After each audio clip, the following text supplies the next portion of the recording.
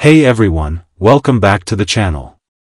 Great news, Delta Executor for Roblox on iOS just dropped its latest updated version 2.692. This version of Delta Executor comes with some important fixes, lag issues, and improvements for iOS users. And in this video, I will show you how to download and install the latest Delta Executor for Roblox on iPhone and iPad.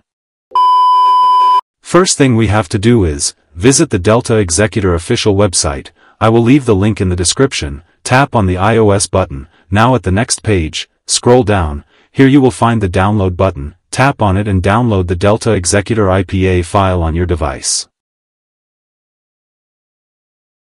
Once you have IPA file, now we have to install it using any side-loading apps like eSign, KSign, Feather Signer, Flexstore, Sideloadly. For this video, I am using eSign app to install the Delta Executor IPA file, if you guys do not have any side-loading apps, watch our video from the description, and install any of them on your device.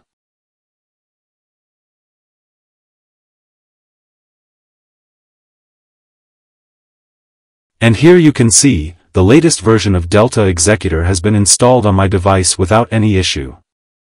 And that's it guys, you are now all set to run Delta Executor, and dominate the Roblox with no limits, thanks for watching guys, Hope you love this content, please like the video, subscribe our channel, and hit bell icon for more tech and Roblox tutorials.